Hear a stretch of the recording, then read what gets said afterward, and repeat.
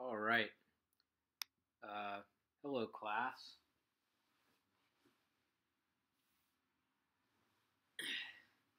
Hope you're doing well. Um,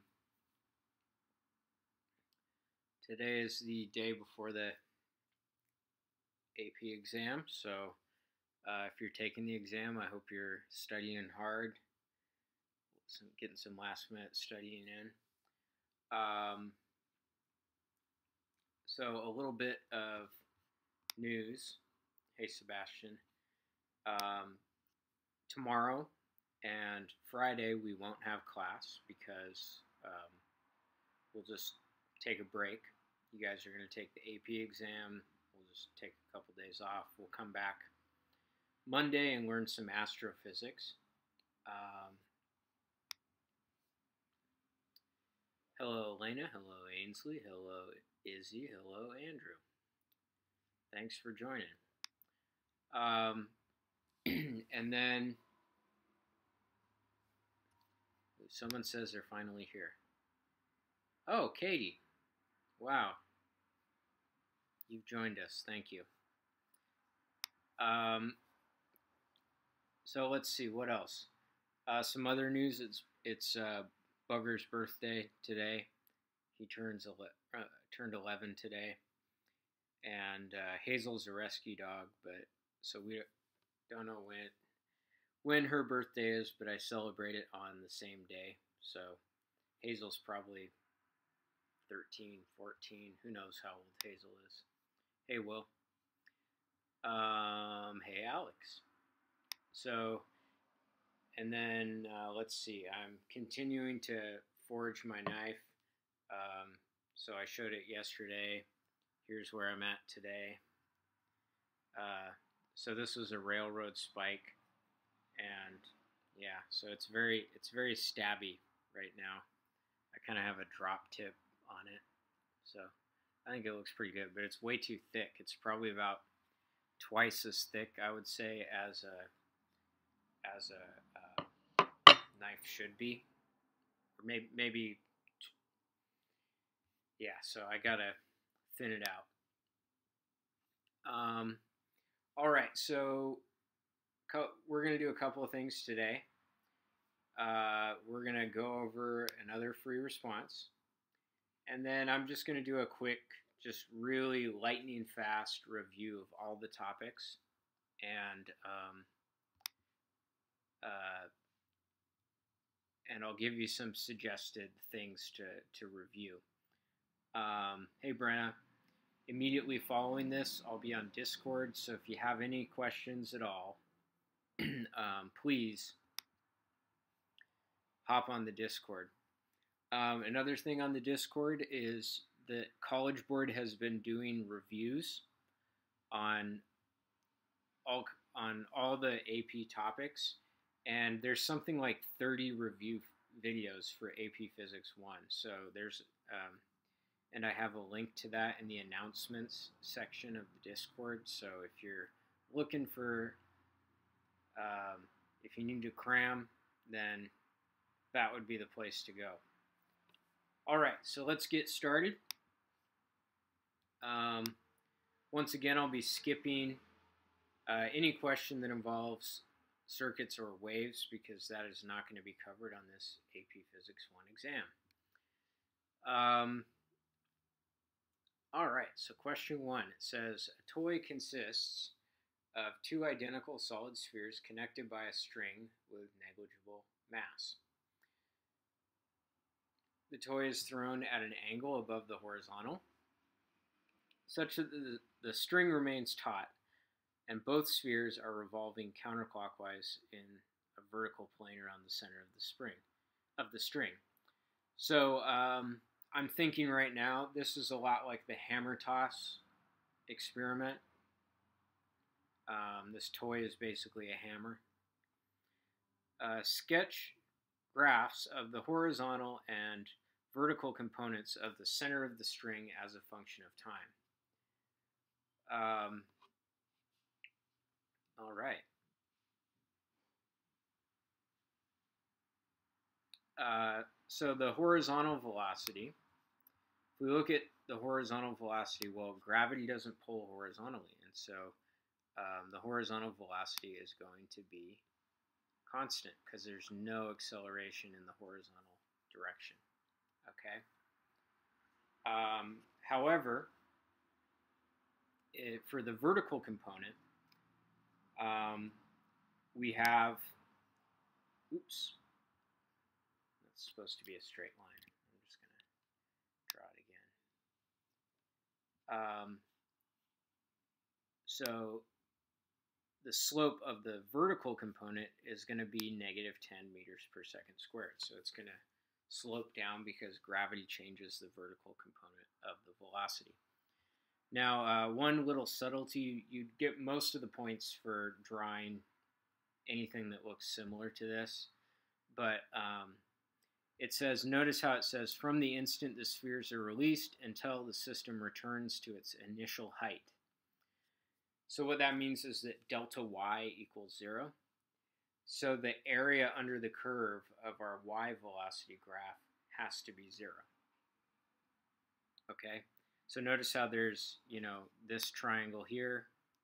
It's a positive triangle, and then there's uh, this triangle here, which is a negative triangle, and then those two areas cancel each other out. Um,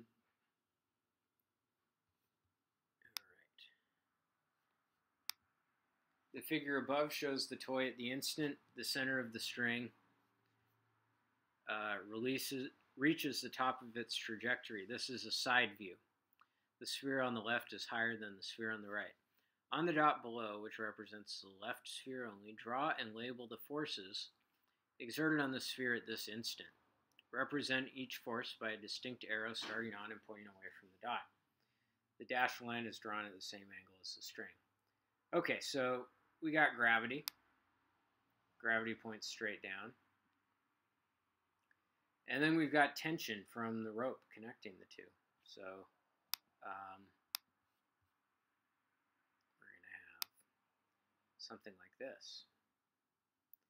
Okay, and you would want to label those, and this would be parallel to the string. Okay, so you'd label those as tension and weight um, on the dot below, which represents the whole toy, draw and label the forces acting on the system at this instant. Um, so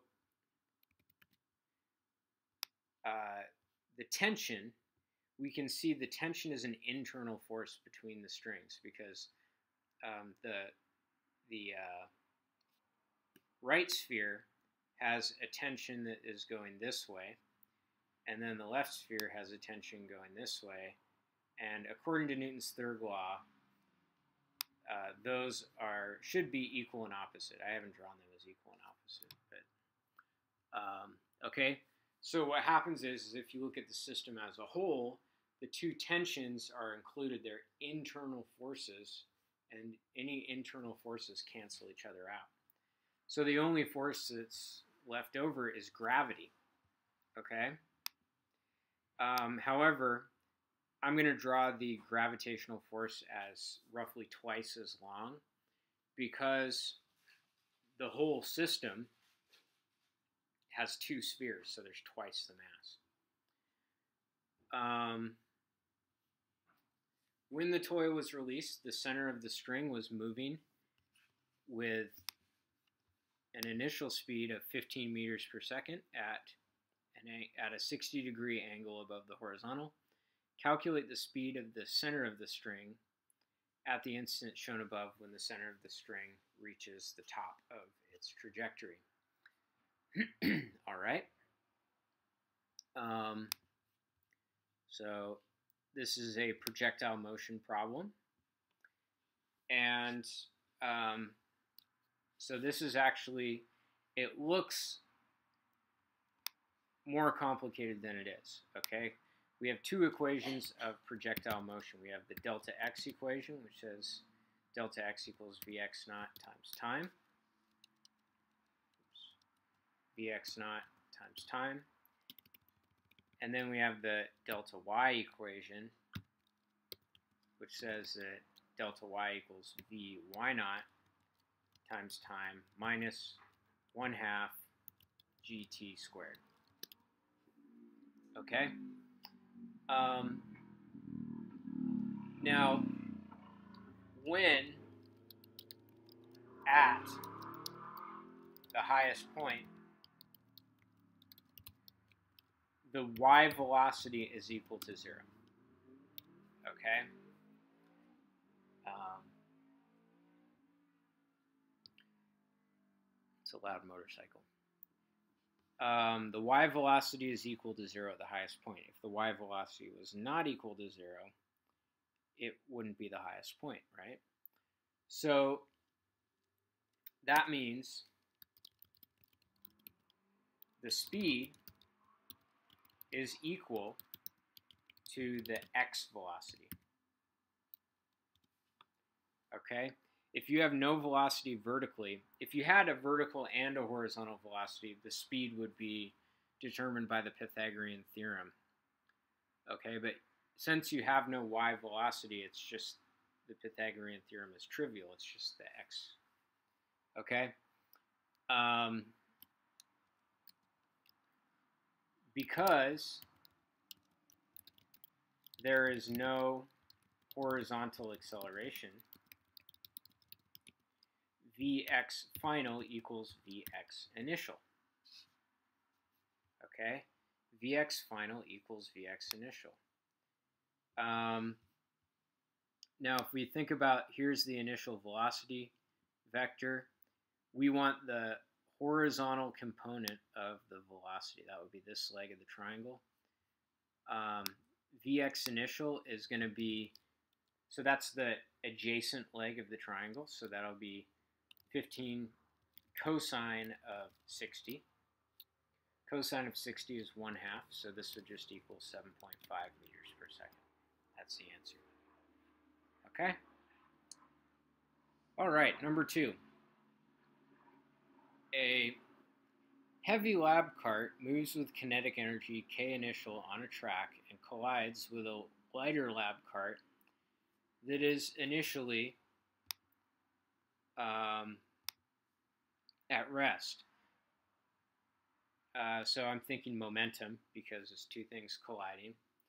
The carts bounce off each other, but the collision is not perfectly elastic. So remember, perfectly elastic means that none of the kinetic energy becomes heat. Okay? Um, inelastic is when they collide and stick together.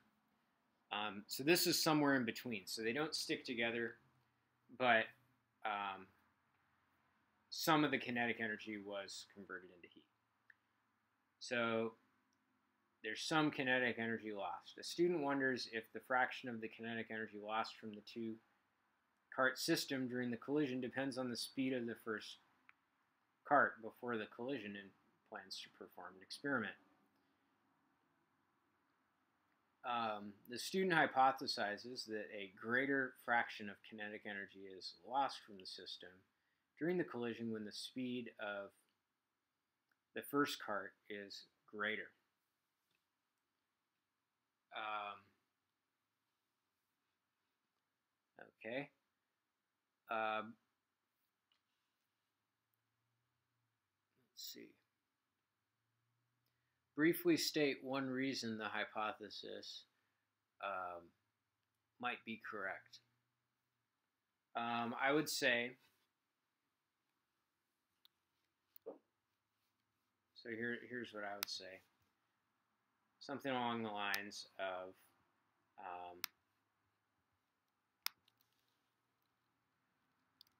higher speed of the first cart means the force of impact will be greater. Okay? Um, when the two cars hit each other, there's going to be a greater force between them. And one of the places that um, energy goes when you have an inelastic collision is it goes into energy goes into deforming the objects that hit each other. Okay, so maybe some of that kinetic energy goes into creating a dent Okay.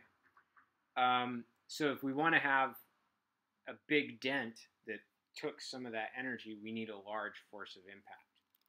Um, this large force of impact will um, cause large deformations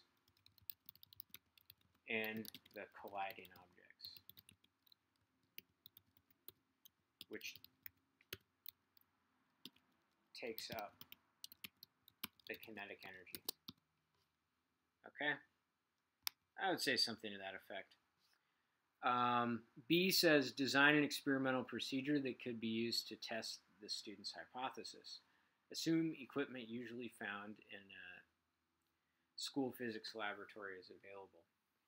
Um, okay. Uh, so basically, if we want to see, if, if we think about what we want to design an experiment for this, um, what we want to do is, uh, so we need to know the initial velocity of cart 1. We need to know the final velocity of cart 1. And we need to know the final velocity of cart 2. Okay? And so I'm going to measure all three of those things with um, with uh, video analysis. Okay? Um, don't say video physics. If you design an experiment and you need to measure a velocity, don't just say video physics. Say motion tracking um, software or something like that. Maybe I should say motion tracking software. The thing is, video physics is a product. Okay? Um, it's not so you don't you can't guarantee that the person who grades your exam knows what video physics is. So it's better to say a more general term. Okay. Um, so video analysis. And so the the procedure would be to you know essentially do the collision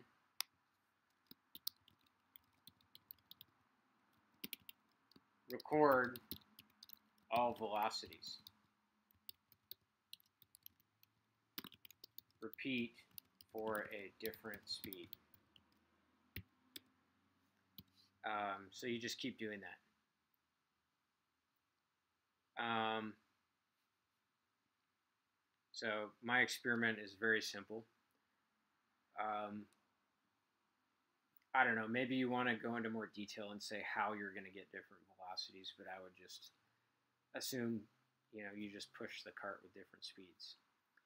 Um, describe how the experimental data could be analyzed to um, confirm or disconfirm. I don't think I've ever heard the word disconfirm before. The hypothesis that a greater fraction of the kinetic energy is lost um, when the first speed of the cart speed of the first card is greater. So, um, oh, Layla says motion sensor. That's a great, yeah, say motion motion detector. That's another great way to uh, measure velocities. Very good. Um, okay, so uh, basically, what what you would do is you would want to take um, you would want to take, so you have the initial velocity of cart 1, and you have the final velocity of cart 1, and you have the final velocity of cart 2. Okay? Oh, you know, one thing I, I forgot to say, because I kind of assumed that they were just a given, is uh, you would also want to record the masses of each cart. Okay?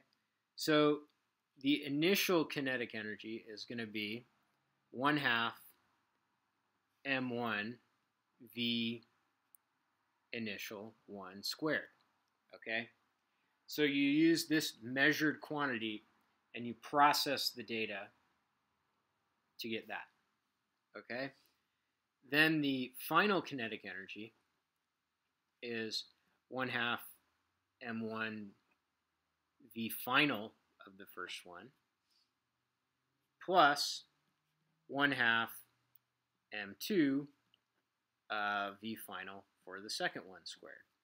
Okay, so you're you're using your measured quantities to calculate the initial and final kinetic energies. Um, and then what I would do is I would graph um, final kinetic energy versus initial kinetic energy.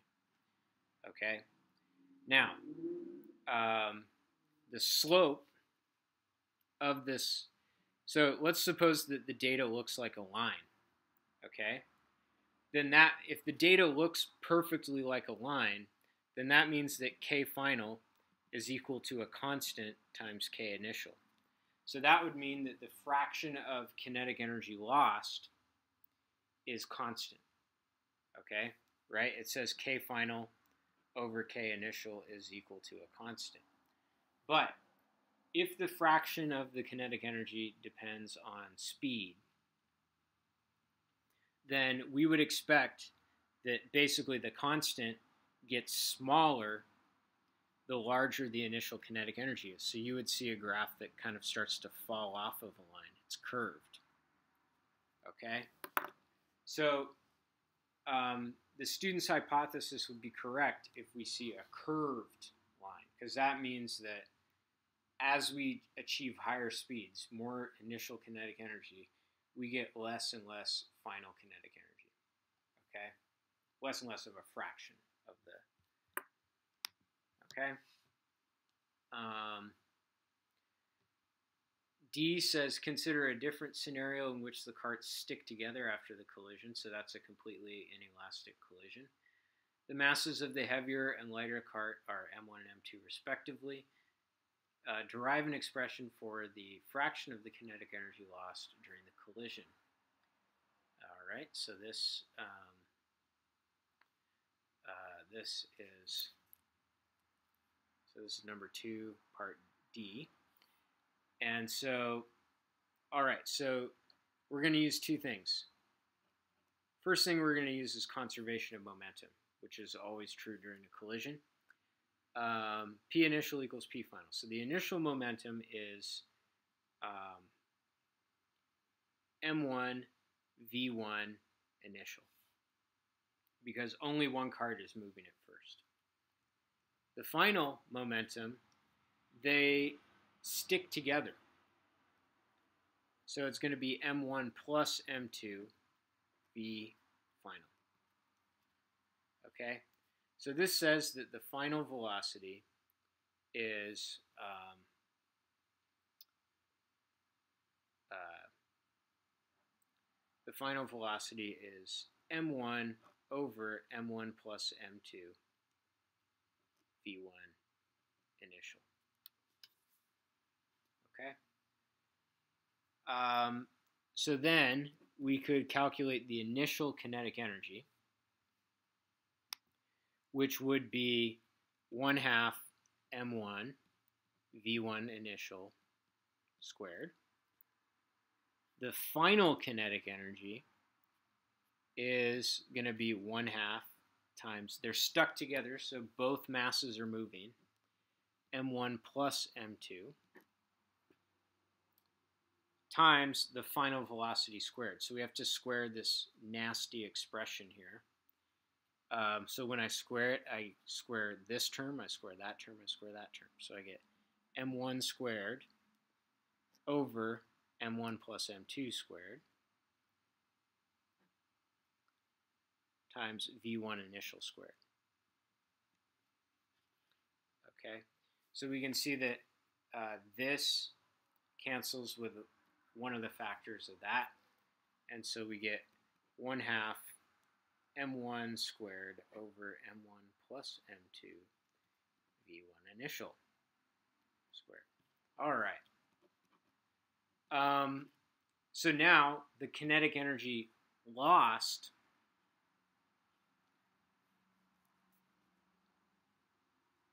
is going to be uh, k final minus k initial. So I got to subtract these two expressions. Or actually, it should be k initial minus k final, right? Because k initial is going to be bigger. Um, so I have 1 half, and notice how the only thing that's different is the, the mass term. So I'm just going to subtract the mass terms. So I have m1 minus m1 squared over m1 plus m2. All that v1 initial squared. Um, then I want to divide that by k initial. k initial is this expression right here. So I have 1 half m1 v1 initial squared. So I can see the 1 halves cancel out. The v1 initials cancel out. And we get um, 1 minus m1 over m1 plus m2. So that's the expression. Um, so that's a little tricky. I would imagine that that part of the question is worth a number of points. And um, uh, so, you know, just by applying the principles of physics, you know, applying conservation of momentum, using the formula for kinetic energy, you're going to be able to um, get most of the points, if, even if the algebra gets a little bit um, too intense for you. All right, moving on to number three. Number three is about waves, so I'm going to skip number three because the waves are not on this AP exam. Um, number four looks like it's about an inclined plane, so that one's uh, one that we're going to look at. Um, a student strikes a block at the bottom of the ramp, giving it an initial speed v naught up the ramp. There is friction between the ramp and the block as it slides a distance x up the ramp and slides back down. Um, on the dots below, which represent the block as it is sliding up the ramp and down the ramp, Draw and label the forces, not components, exerted on the block. Okay, so no matter which way the, the block is going, we're going to have gravity. Okay. And we're going to have normal force. Okay. So both of these are going to be uh, present no matter what. Okay? So, and, and they'll have the same, um, they'll have the same size, whether the thing is going up or down. Okay? So those are both going to be present. You would want to label those. Um, however, if you're going up the ramp, then friction Whoa. Um, if you're going up the ramp, why can't I draw a straight arrow? Just trying to draw a straight arrow. There we go. If you're going up the ramp, then friction points uh, down. If you're going down the ramp, because friction is an oppositional force, friction is going to point up. So it'll be, it'll do something like this. Okay? So it'll have the same size because, you know, it'll have the same size, but, um, all right. Uh, the block takes the time t up to slide up the ramp a distance x. The block ta then takes the time uh, t down to slide back down to the bottom of the ramp, where it has speed v final. Uh, is t down greater than, equal to, or less than uh, tee up. Okay. So uh, the correct answer is going to be that uh, tee down is greater than T up. Okay. Uh, so why is that? Well, uh, what we can see here, while this is going up the ramp, see, notice how gravity and so these two forces, uh, friction and gravity, are both pointing down the incline. Okay? So when you're going up the ramp, you have two forces combined that are uh, slowing you to a stop. Okay? Friction and gravity. However, when you're going down the ramp, friction points up the ramp and gravity points down the ramp. Okay? So you have, um, you still have two forces, but they're competing with each other. Okay? So what that means is that, um, so basically, according to what I just said, uh, the net force when you're going up is greater than the net force when you're going down. Okay? Because when you're going up, the, um, the two forces are in the same direction, so they don't cancel each other out. When you're going down, the two forces are in opposite directions, and so they partially cancel out. Um, so what does that mean? It means that the acceleration when you're going up, I should say the this absolute value of the acceleration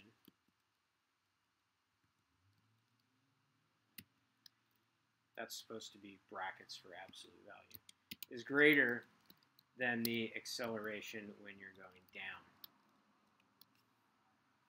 Okay? Um, that's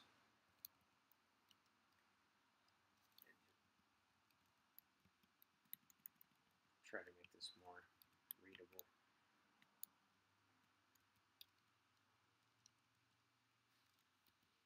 Okay. Um, so what that means is that um,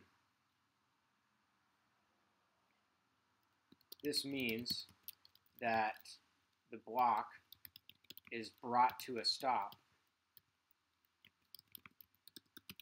faster, more quickly than it is sped up down the ramp. Okay, so it's going to be stopped pretty much immediately on the way up. So it's gonna it's gonna the time it spends going up is going to be very small. Um. All right. Oh. All right. That was it for that question. So uh, question five is about circuits. So I would obviously um, I'm going to skip that, and you should skip any any topic that is uh, circuit related, electric electric force related, or wave related. Okay, so um, uh, at the request of uh, Liz, uh, I'm just going to do a lightning review of um, all the different topics that are on the exam, so this, this lesson is going to be a little bit longer. Um, I want to remind you that College Board has created review videos that will go into much more depth on all these topics. So, um, you know, please, if, if what I'm teaching you isn't enough, um, you know, then head on over to the College Board YouTube page and they have lots of um, videos for you. Um, oh, by the way, on my run today, I fell. I tripped. It happens to me like once per year where I'm running and I'm not paying attention and then I fall over. Um, so today was that day. But luckily, I wasn't running very fast, so I, I didn't hit the ground very hard. But I I would, and I was carrying a water bottle, and so you know your instinct when you're falling is to put your hands out, and I was putting my hands out, eh, but I was holding the, the water bottle, and so the water bottle was like a cushion, and then just my elbow hit, so I kind of lucked out. Okay, so this is going to be a lightning review.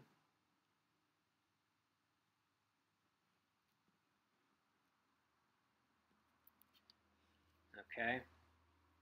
Um, so, uh, the, the first subject that we covered in class was kinematics.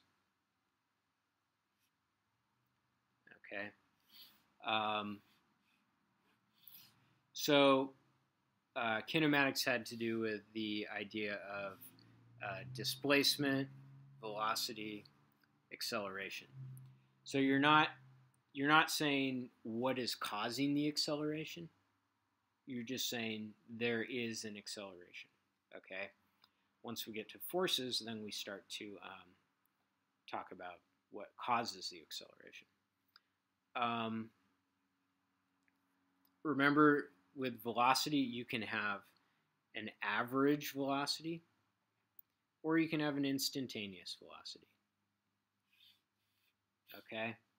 Average or instantaneous. Oh, you know what else happened? Um, I'll say this for, for Katie, uh, if she's still watching. I saw Mr. G when I was uh, running yesterday, and he was running. So he was running along uh, Bonita at like the Mount San Antonio Gardens, that senior home. That's where I saw him. So I don't know where he lives, but I saw him. Oh, maybe I can get rid of, I'll hide this one. And I'll make this larger. How about that? Ooh, that's nice. Okay. Um, all right, so we could make a number of graphs. Uh, one of the graphs we could make is a position time graph. And for a position time graph, the uh, the bendiness of the graph is acceleration, and the slope is velocity. All right. Um, if you have a velocity time graph, uh, and it looks like this, for example, the slope is acceleration, and the area under the curve is the displacement. Okay. Now remember, area under the curve can be negative, so that would represent a negative displacement. Um, we learned the kinematics equations delta x equals vx initial time, or v initial times time plus 1 half at squared. Uh, v final squared equals v initial squared plus 2a delta x. Um, v final equals v initial plus at. So those equations are, I would say, are likely to show up somewhere. Um, we applied this to projectile motion. And uh, the idea with projectile motion is that, you know, you're throwing something diagonally. It has some initial velocity, and you use trigonometry to get the initial y component of the velocity and the initial x component of the velocity and then you have a delta x equation. Uh, the delta x equation is delta x equals vx initial times time. And the delta y equation is delta y equals vy initial times time minus 1 half gt squared. So you'll notice that the, um, you know, the acceleration comes from the t squared term. And only the y motion has the t squared term. That's because gravity um, only pulls vertically. It doesn't pull horizontally. Okay? So that's kinematics. Then we talked about forces. Um, uh, oh, let, let me just um, talk about just really briefly, uh, just maybe I'm only going to mention them, just some representative problems that you might want to take a look at. Um, I would say take a look in your notes to um, maybe horizontal launch off a cliff.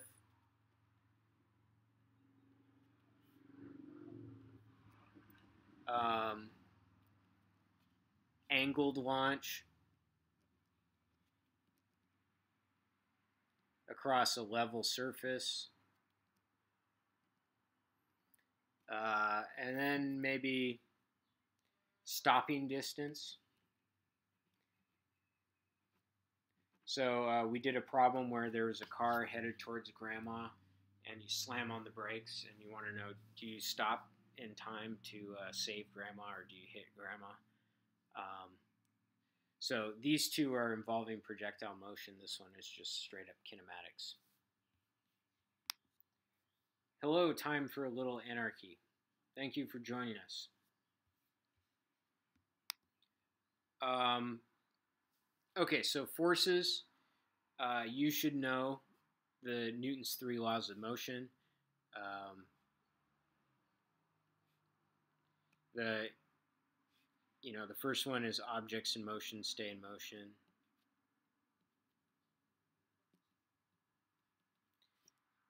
Um, the second one is net force equals ma. Um, the third one is uh, for every action, there's an equal and opposite reaction. The force of A on B is equal to negative the force of B on. Um, we looked at several types of forces. There was um, uh, weight force, mg. There was normal force, F sub n. Um, there was tension, F sub t. Uh, oh, someone else. Akshay, hello. Um, there is the elastic force, Kx. Uh, Kx is called um, the stiffness or called the spring constant. I saw something really interesting. Um, apparently, College Board was monitoring like Google searches during the AP Physics C exam, and uh, one of the AP Physics C exam questions was about springs, and so basically. People were Google searching all the different terms that were showing up on the AP exam. So um, there was a spike in searches for spring constant, which was the second question on the exam. And it was later in the exam time window. So it was it was funny. If if you're googling spring constant while you're taking the physics exam, you're probably not going to do very well if you don't remember what spring constant is. Also known as stiffness. Um, let's see. Other forces are, of course, uh, static friction, and the maximum static friction is mu sub s times normal, and then kinetic friction, which is mu sub k times normal. Um, let me give you some representative problems to, to think about. Um, I would think about the Atwood machine problem. So this is a, a quasi one-dimensional system. You have M1, M2 connected by a string. Um, quasi one-dimensional system, I think, is a is a problem that is likely to show up. Um, inclined plane is likely to show up. Uh, so remember with an inclined plane, the normal force is mg cosine of theta. Okay. Uh, why is it mg cosine theta? It's because um, because the normal force cancels out the component of the weight force that is um, going into the incline, so those two have to balance each other out. This is the normal force, this is mg cosine of theta. Um, the force, the component of the weight force that actually is parallel to the incline is mg sine theta. Uh, so you may or may not have friction present. Um, so that's an important problem. Uh, I would say a third important problem for forces are uh, two-dimensional force problems where you have some kind of a, um, you know, it might be a box where it's being pulled at an angle. Okay. Um, and so you'd still have normal force. Maybe this is a force of tension. Uh, you still have weight force. Um, and you may or may not have friction. Um, and so when you have a two-dimensional force problem, you have the net force in the x direction equals m times the x acceleration. Um, and then the net force in the y direction is equal to m times the acceleration in the y direction. Now, in this case, probably the y acceleration is zero because the block isn't being lifted up into the air. Okay? So these are three important um, problems. Um, so that's forces. Looking at energy. Uh, we started off by learning about work. Work is um, energy added to the system. And the formula for work is force times displacement times cosine of theta, where um, in general your force and your displacement are not going to be in the same direction. Um, uh, it's like when I'm, it, it's actually a lot like this problem, right? Um, this might be a person pulling on the box diagonally but the box slides horizontally. Okay. Um, another example I can think of is walking Hazel. Okay. Um, I pull on Hazel one way and she goes a different way. So the for my force that I'm applying on Hazel and my disp- and Hazel's displacement are not in the same direction. Okay, because she's not very good on a leash. Um, so this is energy added to a system. This is for a constant force, okay? Um, if the if the force is not constant, you have this kind of a force versus position graph, and the area under the curve is the work. Okay. Um, then we talked about some different types of energy. There was uh, kinetic energy, there's elastic potential energy, and there's gravitational potential energy. Okay? Um, the all right. Uh, one of the things, if, if I want to talk about the energy of the system, uh, it depends which terms you can include depends on the um, depends on the definition of the system. So if I say that the system is a mass and a spring, then I'm going to include both the mass and the spring. Okay?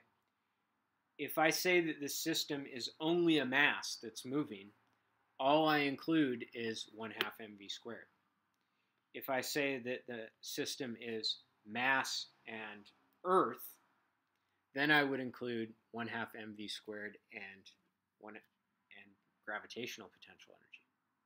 Okay, so depending on what's you can only have gravitational potential energy if Earth is part of the system.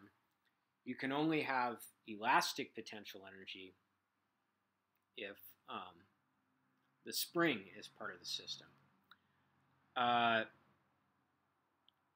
all right. So, cons- conservation of mechanical energy says that the initial mechanical energy plus the work done equals the final mechanical energy. Okay? So, um, in the case, so this is work done by something external, right? Um, remember, work is energy transferred to a system. So let's suppose that the system was just a mass. Then you're going to have 1 half mv squared being your initial energy. And then there's going to be an external work done on the system due to gravity. Okay? And that results in your final energy. Um, so if the system only has the mass, then gravity is an external force doing work on the system. Um, what if I define the system to be Earth plus um, the block that's moving? In that case, the initial energy consists of um, kinetic energy and gravitational potential energy, and then there's no external work because there's nothing, no other forces acting on the system. So um, the AP exam kind of it likes to define the system. Pay close attention to what it defines as the system. Um, power is the work that you do divided by the time it took. Um, so another equation for that is force times velocity times cosine of theta. All right. So that that's energy. And again, I would stress um, pay close attention to the definition of the system. Okay. Um, what are some representative problems with energy? Um, I would say anything where you're like launching something with a spring. Um, so using energy to figure out what's the launch speed.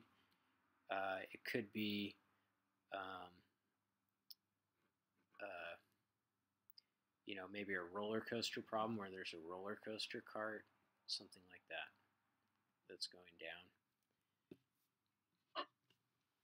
Um, all right. Next topic was momentum. Uh, there's something called impulse, uh, which is denoted by J. Impulse is force times time. Uh, this is for a constant force. If you have a non-constant force, the impulse is the area under a force-time graph. Um, so impulse is basically energy added to a system, or, or mo- excuse me, momentum added to a system. So the the impulse due to the net force is the change in momentum of the system. Okay. Um, so of course momentum is mv, and the law of conservation of momentum says that in collisions P initial equals P final. Okay. Um, what are the representative problems for momentum? Uh, one representative problem would be, uh, you know, the completely inelastic collision, where you have m1 v1 initial equals, and then they collide and stick together so the, the two masses combine. Uh, that's a common one. Another common one is um, uh, elastic collisions, where you have K initial equals K final. But in general, um, in general, the final kinetic energy is not equal to the initial kinetic energy all right? So the only time you would assume that this is true is if it specifically says it is an elastic collision. Otherwise, you use momentum conservation. Momentum conservation is always going to be true. This is only going to be true sometimes. So if you apply this at the wrong moment, uh, you're going to get the answer wrong. Um, one thing to remember is that external forces, so when I say an external force, I mean a force from something that is not part of the system. Okay? College Board is going to define the system. They're going to say the system is these items. Anything that's not on that list of items that is exerting a force on something that is in the system, that's an external force. And external forces can change momentum.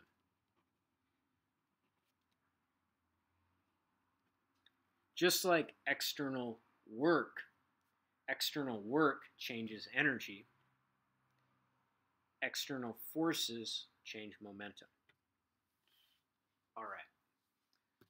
Um, the next thing we discussed was circular motion. Um, something's moving in a circle. Its uh, velocity is tangent to the circle. The acceleration is towards the center. So is the force. You need a force to move in a circle. Uh, velocity is going to be the distance traveled, which would be the distance around the circle, divided by the time it took, which we call the period. Um, the size of the acceleration is v squared over r, which could also be written as 4 pi squared r over t squared. Um, uh, what else do I want to say about that? Uh, Newton's second law applies to things moving in a circle. F, if something is moving in a circle, then you say F equals mv squared over r. Um, the force that causes something to move in a circle, that is called the centripetal force.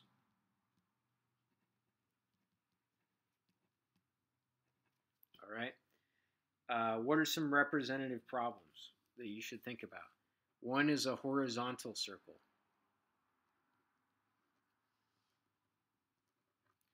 Uh, a horizontal circle is a, is a circle that stays at the same elevation the entire time. Okay.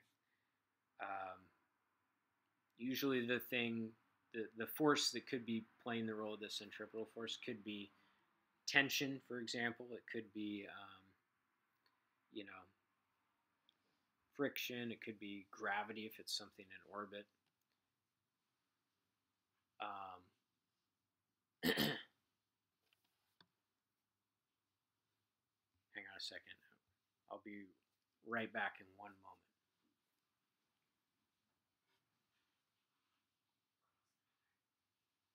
No, look where the pipe is. Um, uh, and then the other thing you want to look at is a vertical circle. Um, and so a vertical circle is a little bit trickier because when you're at the top of the circular arc, um, your acceleration points downward because that's where the center of the circle is. Um, and you have weight force going down, and then you have another force, maybe, okay? Um, when you're at the bottom of the circle, your acceleration is upward and you have weight force going down still. This force, and then you have the other force. So uh, it, it's a little bit tricky. You might want to review your notes for vertical switch.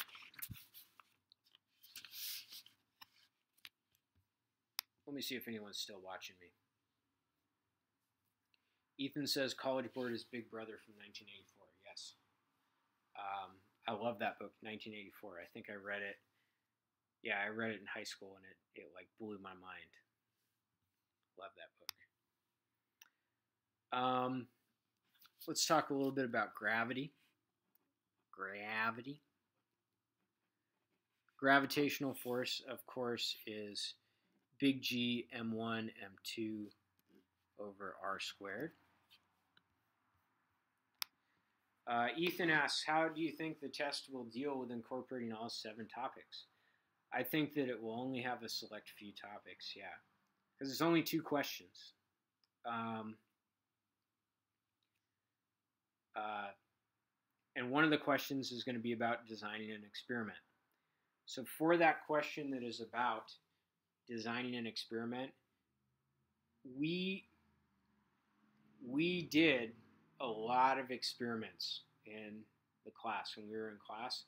So for that one, you know, it might even be a good idea for you to to uh, take the AP exam with your lab notebook next to you, um, and then this is a really good idea. Use have your lab notebook next to you, and literally, if it's asking you to design an experiment on energy or momentum or something like that, flip to that page in your lab notebook and you have an experiment right there that you did. Um, so think about that. Okay.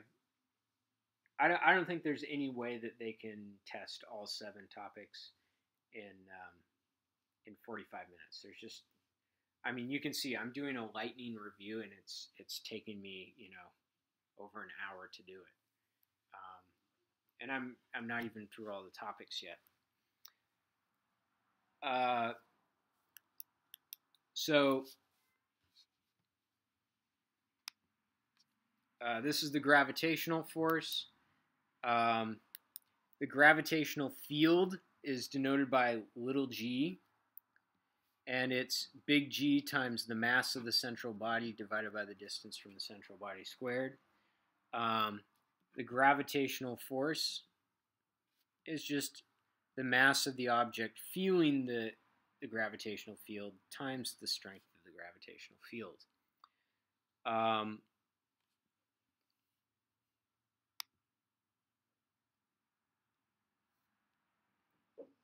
uh, Layla, you may be right. I'm, I'm not sure. I I thought I know AP Physics C had an experimental design question, so um,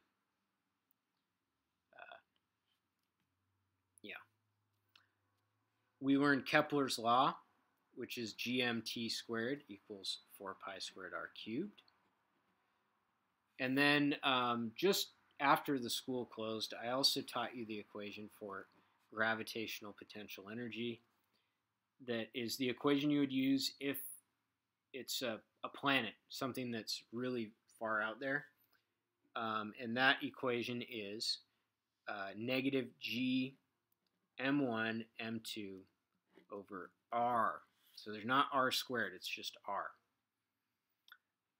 Okay? Um, I would say Kepler's law is the most likely problem that you would encounter. Maybe a linearizing graph problem.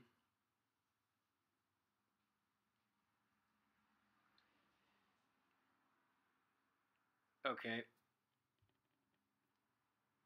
Okay, Will says he read the same thing from Jacobs Physics. I hate that Jacobs guy. I don't like him. He has a punchable face.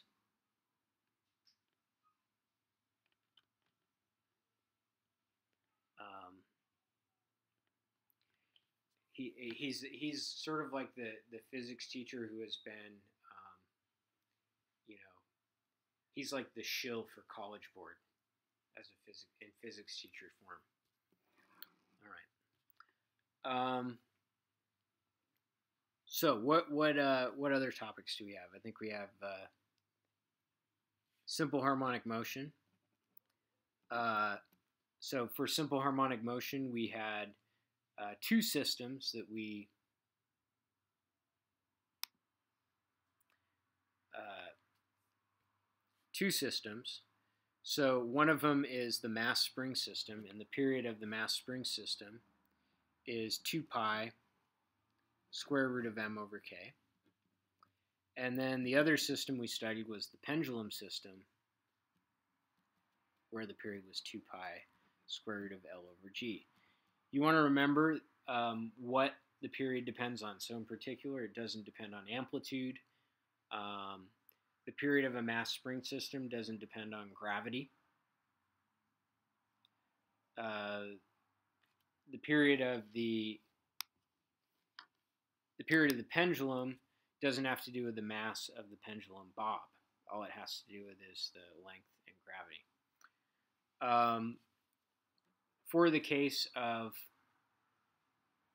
the um, the mass spring system, uh, we analyzed it in terms of energy.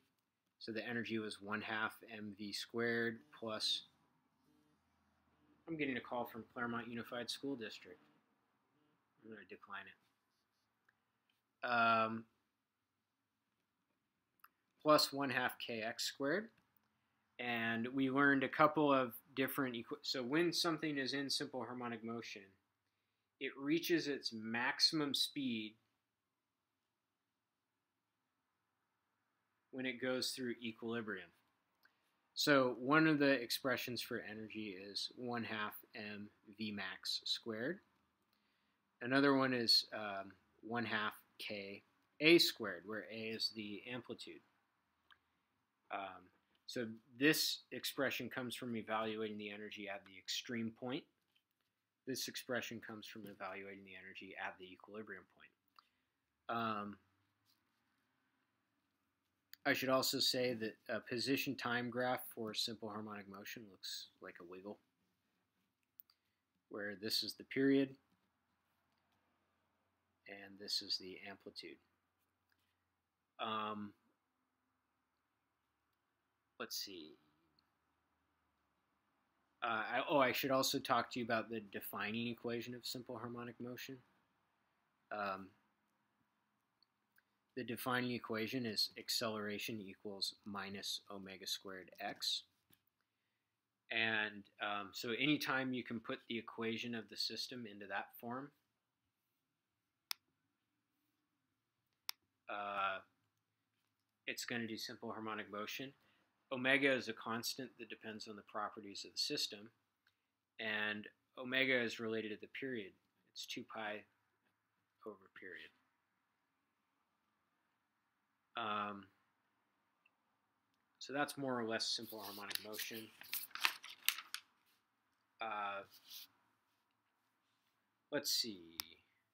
Akshay asks, what do the mass, what do the mass represent in the gravity equations? So uh, this is the mass of the central body. This is the mass of the central body. Okay? Um, little m is the mass of the thing feeling the gravitational field. Okay? So big M is the mass of the planet or the thing that's making the system gravitate. Okay. So I believe the last topic is uh, rotations. All right, which is probably the, the trickiest topic. So I, I would say um,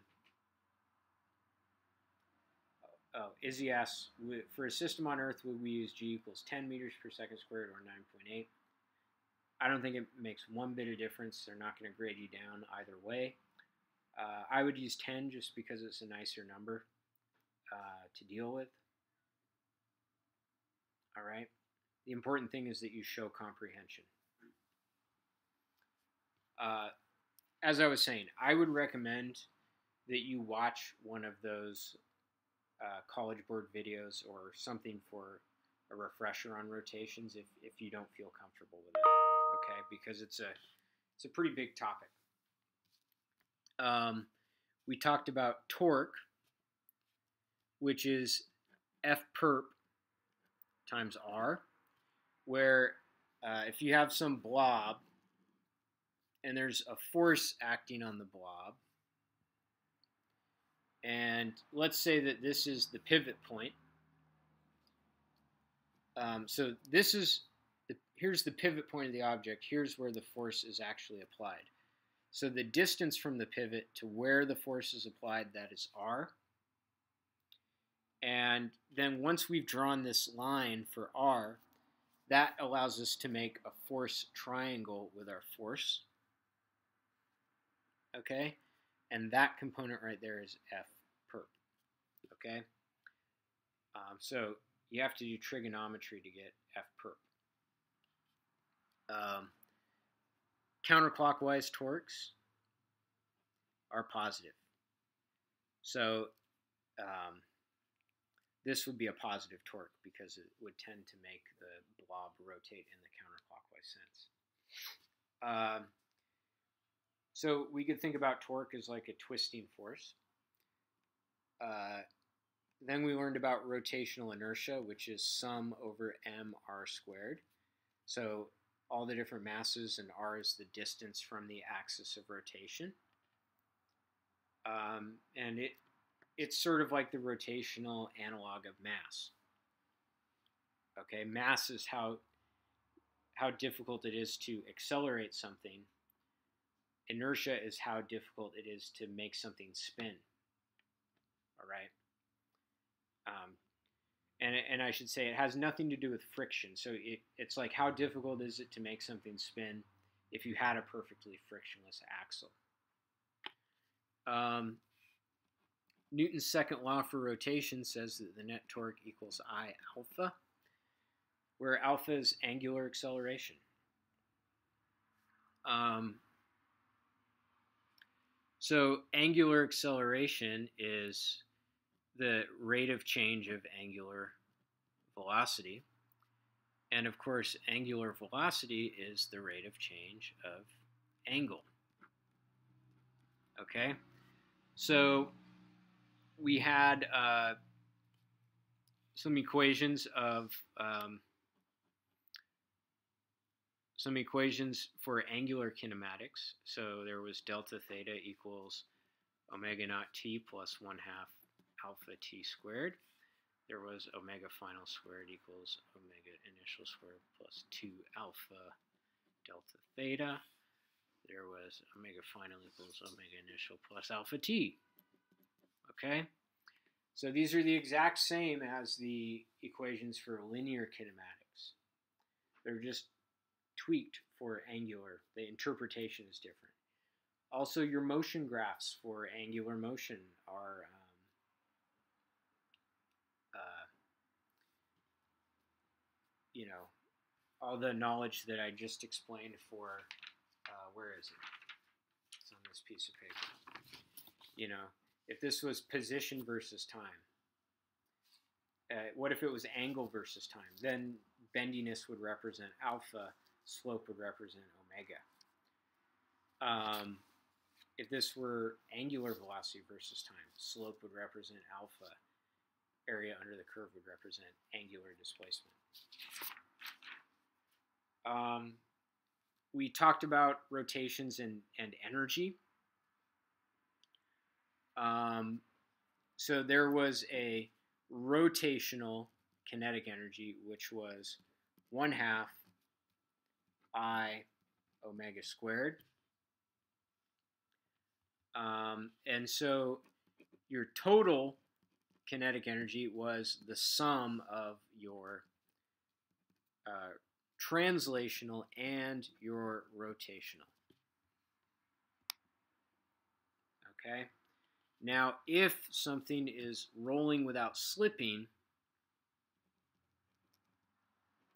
then V equals omega times R, where R is the radius that it's rolling about. So this allows you to basically say omega equals V over R and plug that in right there. Um, so a good representative problem would be, you know, something rolling down a hill. Um, remember, certain shaped objects have certain I values. So a disk, a hoop, a sphere, all have different I formulas that are obtained from this. This is the the fundamental basic definition of inertia, but if you use that for a specific shape, you can get a, a nice clean formula, um, which they, they would give you. You don't need to know what that formula is. Um, let's see. I think probably the last topic is uh, maybe uh, angular momentum, which is denoted by L. Um, and L is mv perp r. This is for something that's a tetherball-like object, or it is i omega. Okay. Um, so uh, angular momentum is conserved if there is no external torque. Okay, so you have all of these different um, quantities that are conserved. You have energy. Energy is conserved if there is no external work. Momentum is conserved if there is no external force angular momentum is conserved if there's no external torque. So um, you should know what cha- what makes a quantity conserved in a certain situation. Okay. Um, because basically it determines what equation you're going to use to solve the problem. If momentum is conserved, then you're going to use P initial equals P final. But if energy was not conserved, then you wouldn't use E initial equals E final. Okay? So it tells you what you what you can and can't use in terms of equations. Um, I'm sort of a representative problem for um, uh, for angular momentum might be a, a stick that has inertia I okay? And maybe it's not spinning. So th this is a top view of the stick. Um, and something comes in, like a ball, with velocity v, and it comes in and it hits the stick. Okay? And it, um, uh, once it hits the stick, it sticks. So then what you have is you have this system is spinning. Okay, here's the ball that hit it, and then after it hits, it starts spinning. Okay, um, that's a pretty common problem. So uh, this is a problem where where uh, energy, mechanical energy, is not conserved. Okay, because it's it's basically an inelastic collision. The two things are hitting each other, and we know that when two things collide and stick, uh, some of the kinetic energy is converted to heat. So we can't use energy conservation. Similarly, we can't use momentum conservation. Why is that? Because um, the pivot, okay, uh, is going to exert a force on this rod when when there's a collision. Okay. It's kind of like if you if you caught a ball that was moving really fast, um, when you catch the ball, right? There's a force from your shoulder on your arm, right? Your shoulder absorbs the blow. So uh, there's going to be an external force from the pivot because the pivot is not part of the system; it's an external force. Um, so basically, in this situation, your only conservation law is angular momentum. Now, the initial angular momentum is the momentum of this blob thingy. So it's going to be mvl. Let's say that L is the length of the, um, okay, is the length of the, the rod here. And then the final angular momentum is, again, the angular momentum of uh, see, notice how before the thing that was carrying the angular momentum was this tetherball-like object, so I used MVR. But now once it's an extended object that's rotating, I'm going to use the I omega. Okay? I have to be careful though because the inertia isn't just I. It's also the inertia be- because it's not just the rod anymore. It's the rod and the thing that's stuck to the end. Um, so there's we also have to include the inertia of uh, the blob that's stuck to the end of the rod, which would be ml squared times omega final. So we could take this equation, we could solve for omega final. Okay. Um, so those are, I think I got all the topics. Um, I'm thinking. Uh, one thing I forgot to mention was the uh, sneaky form of Newton's second law. So I'll just write that right here. Net force is rate of change of momentum. Uh, so, um, anyways, that's my review. Um, I'm going to hop on the Discord uh, immediately. So if you have any questions at all about um, about physics, I'd be happy to answer them. Um, I won't have I won't be able to answer your sort of like logistics questions quite as well, um, but I can direct you to the correct College Board resources. So. Um, uh, so I hope to talk to some of you on Discord and Wow, 14 of you made it through an hour and 20 minute review. Good for you guys. Um, good luck tomorrow. I'll be thinking of you. Hopefully, I'll wake up on time. I might sleep while you guys are taking the exam, uh, which is what I usually want to do when you guys are testing. I'm thinking to myself, man, I could take a nap. It would be amazing right now. Um, all right. Have a great afternoon. I hope to talk to you on Discord. Bye now.